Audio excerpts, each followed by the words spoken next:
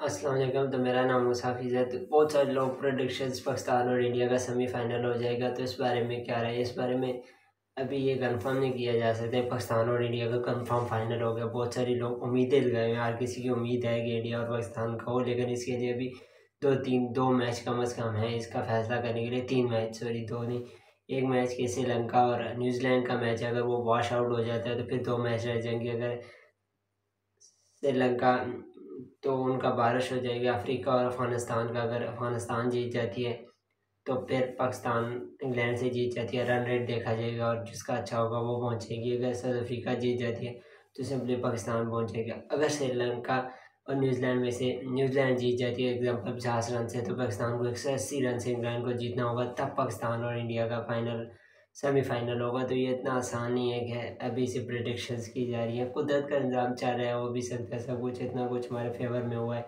Glam Maxwell की inning देख लीजिए, जो अपसेट हुआ है, इसी तरह बहुत बड़े बड़े अपसेट हो रहे हैं। जैसे हमें उम्मीद नहीं थी कि अफ़गानिस्तान हार जाएगी, इस सिचुएशन थे इतना मैच बना के अपने हाथ में ले गए और वो थ्रो कर देगी ऑस्ट्रेलिया के हाथों में, लेकिन कमाल इसमें तारीफ़ करनी पड़ेगी। ग्लेन मैक्सवेल की भी उन्होंने जिस तरह गेनिंग खेली है, क्या कमाल गेनिंग खेली है, जितनी तारीफ़ की जाए हमें